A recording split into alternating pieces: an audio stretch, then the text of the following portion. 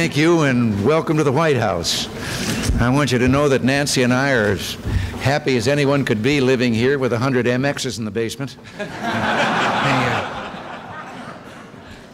it's, it's such a pleasure to play host to old friends, especially those who over the years have made it their responsibility to contribute so much to in resources and personal effort to conservative causes. So let me just offer you a, a heartfelt thank you for all that you've done to support our common ideals. That thank you is also for your efforts since I got to this current job. Uh, whether it was for reducing the growth of federal spending or cutting the tax rates or rebuilding the national defense, you've kept the home fires burning, burning right under the feet of the undecided votes up on Capitol Hill. And it made a difference. I have often said it isn't always necessary to make them see the light, just make them feel the heat.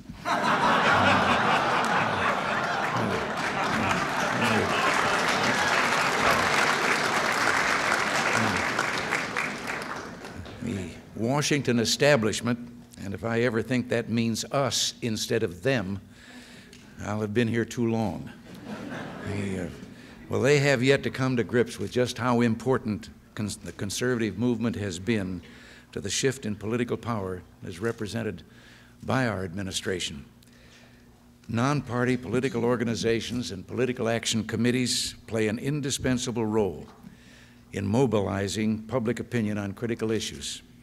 And this isn't to say that the PACs and other philosophically motivated groups have a perfect record, but at times I get a feeling there's a double standard applied to conservative political action committees. And it reminds me of how generous contributors and to conservative causes are always labeled fat cats, while big liberal contributors are called public spirited philanthropists.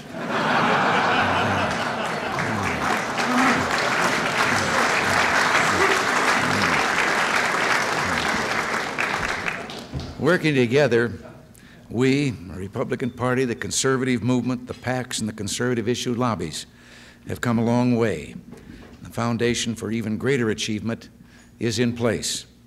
How many of you, for example, can remember when it was almost impossible to find a conservative to speak with authority on an issue?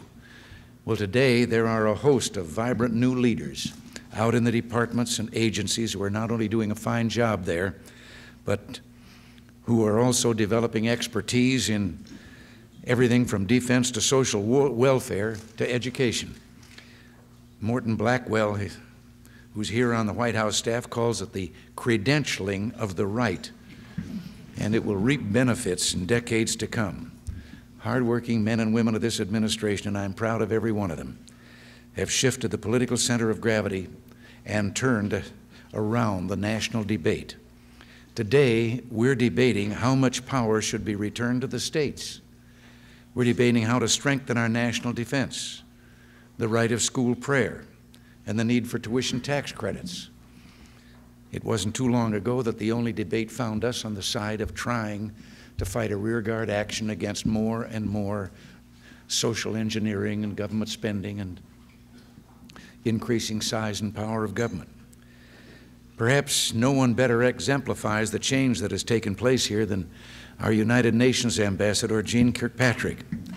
And I am grateful to have her on the team and proud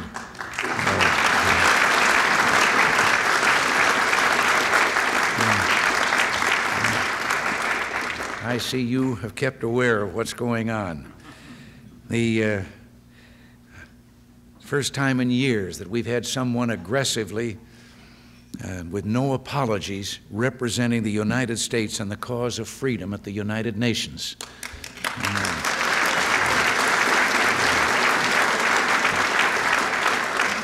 she sent a little series of identical letters around the shop after there had been some intemperate remarks made about us, and she got 27 letters of apology. But after a long period of vacillation and despair, we've again rekindled the torch of liberty, reclaimed America's legitimate leadership role in international affairs. And we're finally on ideological offense against tyranny. Remember how appalled we all were in past years when representatives of the United States appeared apologetic in the face of some of those vicious diatribes? Well, believe me, those days are past. Jeane and our other representatives aren't sitting back silently and taking that verbal abuse anymore, as I just said.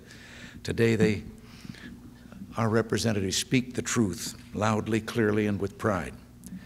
We must and we have, will have peace with the nations with whom we have fundamental differences. But today, our adversaries understand that we will not he hesitate to promote precious ideals that are our, the basis of our free system. We're also taking the offensive domestically in many areas of long standing concern to all of us here today. Thomas Jefferson said, To compel a man to furnish contributions of money for the propagation of opinions which he disbelieves and, disbelieves and abhors is sinful and tyrannical. Well, it's no secret that for some time now the government has turned a blind eye to the misuse of federal funds for blatant political forces. And we are now taking steps to ensure the federal grants and contracts will not be used to finance political advocacy.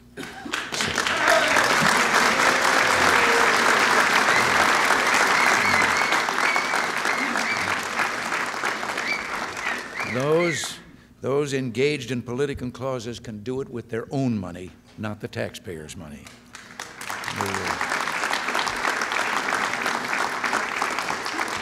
As you know, two years ago, we promised the American people we'd make America strong again. Well, we have put in place a program of tax rate cuts, spending controls, and deregulation that is just now coming to bear on the long term problems that we inherited. I'm happy to tell you that I remain unabashedly confident, and with good reason, America is on the mend. And now that situation has begun to turn around, I hope you will remember and remind all your friends and neighbors about the politicians who wanted us to go back to the tax and tax and spend and spend, inflate and inflate policies of the past, even before our program had a chance to work. And when you're talking to friends, I hope you'll also explain to them just why we had to maintain a strong national defense. You understand, or you wouldn't be here today.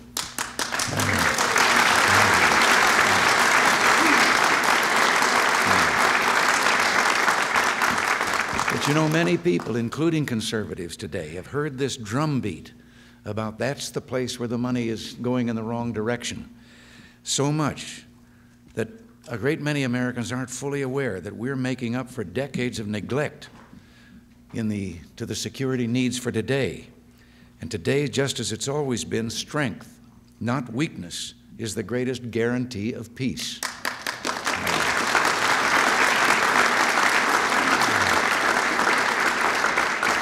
In our country, peace and freedom depend on understanding and the support of the people.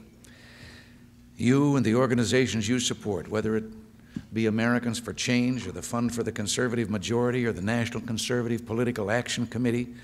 You've done so much over the years to inform the American people about the chances, the choices that we face.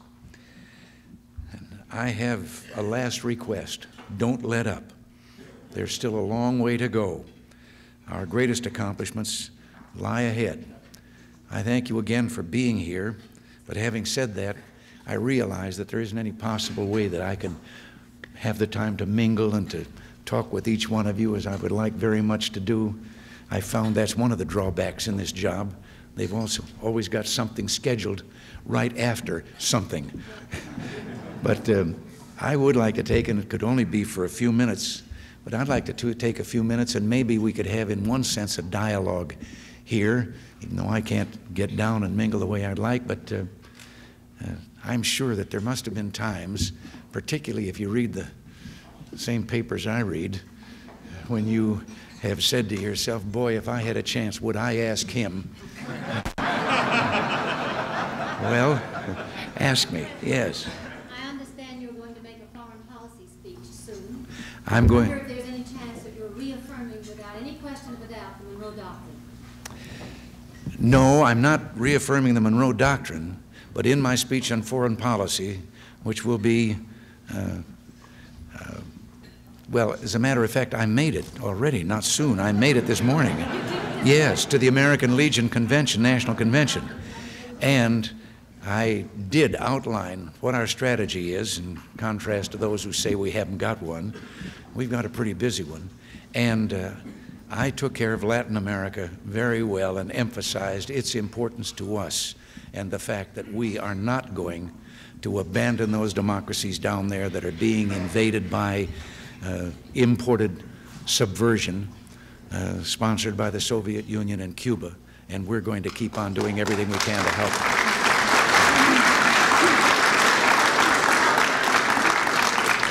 I said if they can have a Brezhnev doctrine, I don't know why we have to apologize for a Monroe doctrine. You, I'm going to I'm going to take your question in just a second, but I have to tell you, if you haven't heard it, it's a terrible story. It's a deathbed story. But when Brezhnev was leaving the world, and he asked Yuri Andropov to bend down, and he said, Yuri, make sure the people follow you. And Yuri said, Leonid, if they don't follow me, they'll follow you. yes.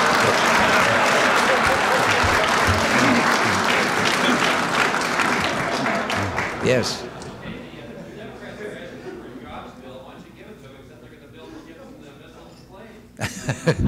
well, I, at times, with all of this talk about their job bills and what they, what they want with those, I'd like to point out that the decline in unemployment that took place in the month of January would have required a $5 billion jobs bill to um, have the same effect. And we got it without spending anything. Now, we've got what we think are some legitimate things, and that is in our budget for 1984, there are many departments and agencies that have asked for funds for necessary maintenance, repair, construction, and so forth. And we've conceived of the idea and proposed, and I must say that the, legis- the leadership on the Democratic side has listened and is giving full consideration to simply moving up some of those projects and doing them starting now in this year, in which they will directly and indirectly create additional jobs and it doesn't mean that we're adding uh, spending on to a budget. We'll simply move it up and spend it a little earlier, get the job done, and get some people back to work. Incidentally, on your question before about the Monroe Doctrine, I think you should know that it isn't our opponents or adversaries. It is our own allies and friends uh, in Latin America who found themselves chafing under the Monroe Doctrine, and uh, they do not want it re reapplied. They, they felt it had a kind of a sense of Big Brother taking care of them. So Big Brother's just going to be a big friend. Monroe didn't check with them. South Korea, Monroe, Louisiana. First, I want to thank you for coming to Monroe, Louisiana. It was still raining there when we left to come to this meeting. Oh, Second, uh, we wish you would run, and would you give a statement as to whether or not you run for president again?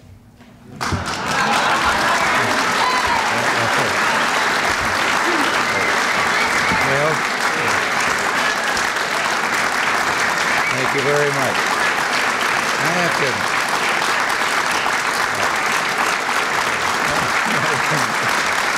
Oh, Thank you.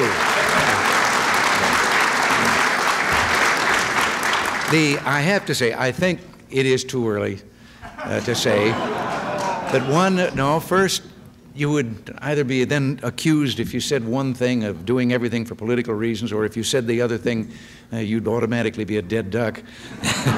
and uh, the, um, I have said, though, that I think the people let you know whether you should or not, and I want you to know I will remember your reaction.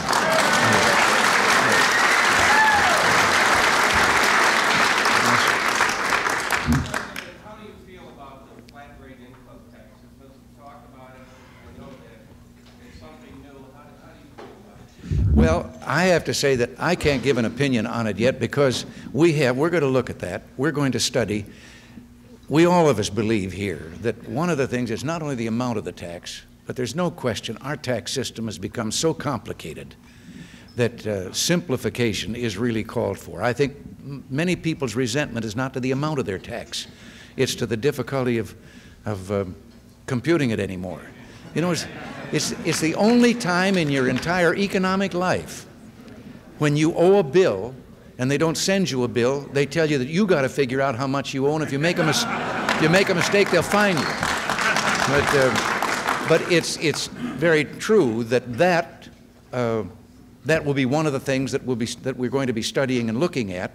Uh, as you do look and start to study, you find there are some drawbacks as well as some advantages.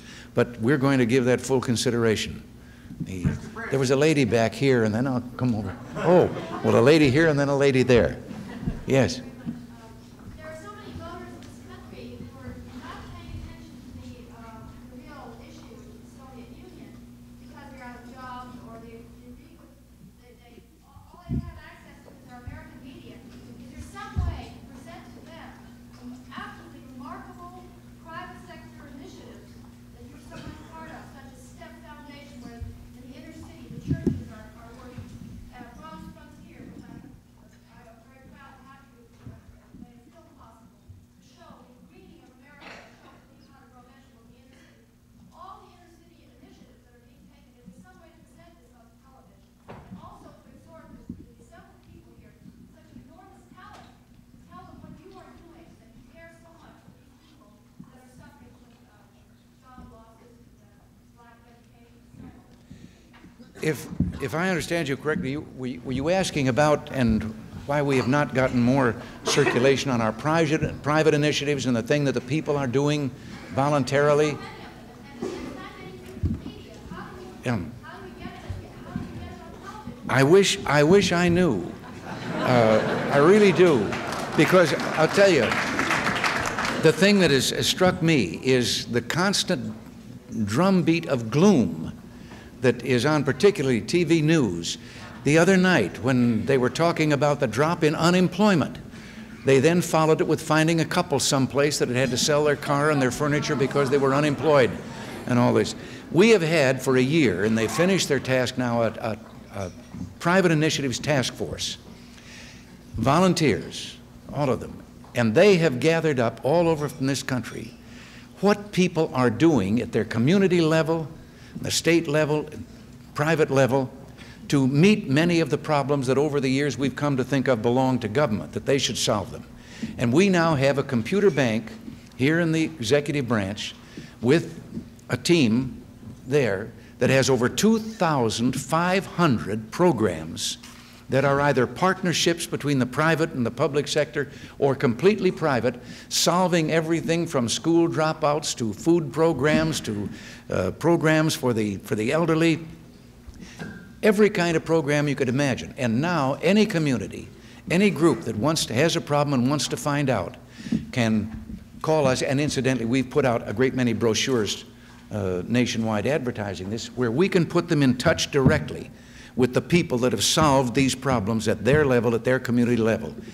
Things like Midland, Texas, where they have Christmas in April. You've probably never heard of that. Well, Christmas in April is every April. All year long, they have been collecting the information on people's homes, needy people, elderly people, handicapped people that need repairs, refurbishing of some kind, and in April, volunteers Business people, lawyers, doctors are out there with paint brushes, hammers and nails, saws.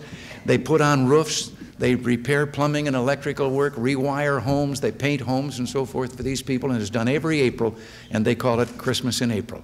And it's just a program they found out to refurbish their community year after year. Now, you, Mr. President, I'm Ellen Garwood, Austin, Texas, and we hope you will run again in eighty-four, and if you do, we think you will win much more easily if you will come out for High Frontier for defense. Will you please ask General Daniel Graham to come and discuss High Frontier with you? I,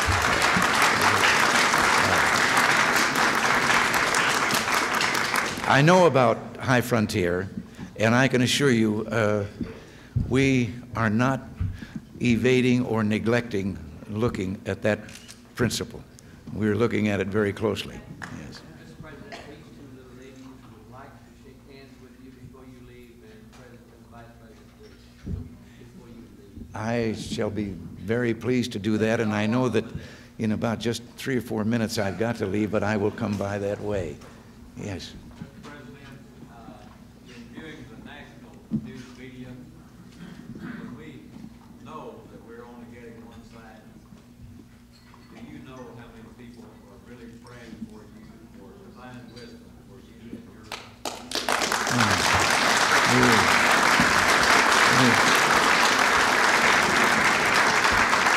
Did, did I understand correctly? You say, did, am I aware of how many people pray for me? Yes, sir, I hope, I hope God has given you the assurance. Well, I have to tell you, I believe in intercessionary prayer. And I believe that without being told, but many people have told me, I would know that they are. And the only thing I do want to say to you, if it's that sometime when you are praying for me, if you get a busy signal, it's me in there ahead of you.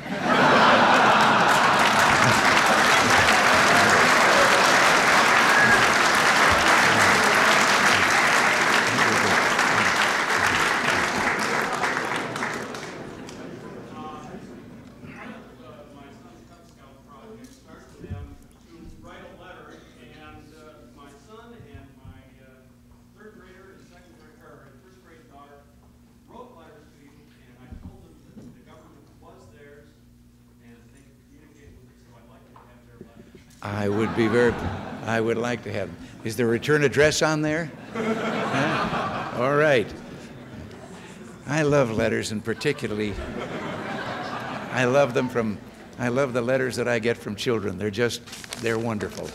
And, oh, and then I get the, all right. Mr. President, this, this question is not meant to be insulting in any way.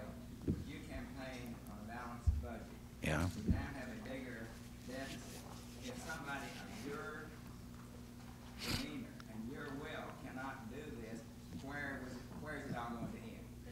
Where is it all going to end? I campaigned on a balanced budget, and now we have budget a, def, a deficit b- bigger than ever. And where is it going to end? If I can't do it, who could? Well, 50% of the present deficit is recession caused. The possibility by 1984 uh, we could balance the budget. By the time the election took place, and before we came here for inauguration, the economic conditions had so worsened 21.5% interest rate. Unemployment had continued. Inflation uh, continued for its second year, increasing double digit for two years in a row, back to back. Um, well, all of those conditions that we had to alter again our figures, but again, with the best projections that we could get and less optimistic than they had been earlier. No one foresaw, and no one that we talked to or anyone else had projected that deeper slide. They call it a separate recession. We had a recession that started in 17, 1979, went all the way through 80, and was continuing in 81, and then fell off uh, the cliff in July. Uh, I'm interested when I hear a senator from Massachusetts uh, blame our economic plan for the recession. The first installment of our economic plan didn't even go into effect until October 1st. The recession, the big dip was in July. But it has changed. That had, because for every one percentage point of increased unemployment, you have to count about another 30 odd billion dollars added to the, to the deficit. That is in outgo for benefits to people that are now unemployed and in need, and loss of tax revenue because they're no longer working and, and paying taxes. But the plan that we've submitted for the 84 budget, the Congress will pass first time getting at what we call the entitlement programs. We have found that, you know, the president has to project for five years ahead. And I do it with my fingers crossed because I don't think any economist in the world can project more than one year ahead with any degree of accuracy. But what we've done is the rate of spending increase was running at 17% a year when we came here. We have reduced that down to where for last year it was about 11%, 10 or 11%, the rate of increase. In the 1984 budget, it will be down to 4 or 5% as, as a rate of increase. So what we can see now, if we have the cooperation that we want up on the Hill, we can project two very sizable deficits, no question about it, 83 and 84, but then a declining pattern. Even with our modest projections, we deliberately have said we're going to project a rate of growth in this recovery that we think has started. Uh, in fact, we know has started. We're going to project a modest rate of growth.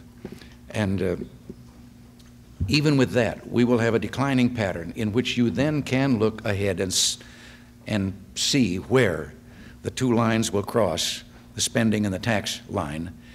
And um, we're inclined to believe that the recovery is going to be a faster growth than we have anticipated, which would bring that up uh, even earlier than that. But I do think we can do it. But when I mentioned the entitlement programs, these were the programs that are actually spending is built in, the increase in it. And uh, so the Congress didn't have to raise the spending bills, they just automatically increased. Well, these are what we're getting at, the things called the entitlement programs. Incidentally, you know, with all of the criticism of defense spending, over the recent years, while defense spending was declining by 20 percent, those programs I'm talking about were increasing by 122 percent.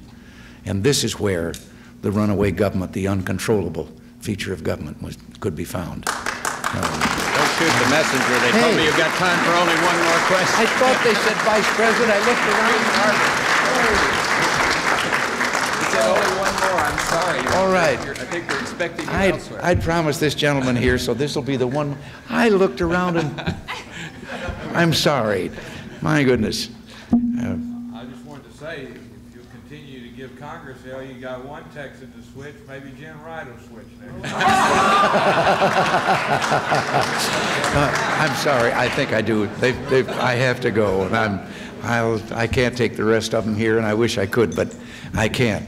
And I'm very happy to leave you in the capable hands of George Bush, who came back from doing a magnificent job with regard to our disarmament proposals in Europe.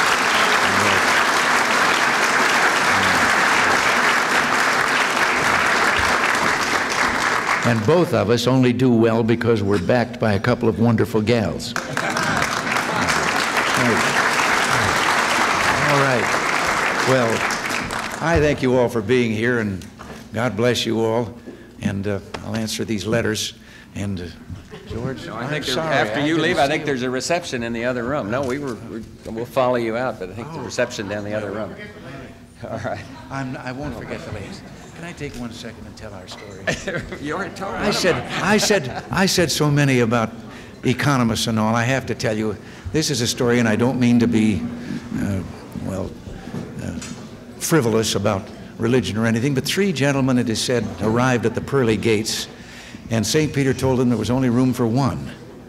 And uh, he said, We've decided inside that the one who is practicing the trade or profession, which is the oldest, can come in. So a man stepped forward and said, I'm a doctor, a surgeon.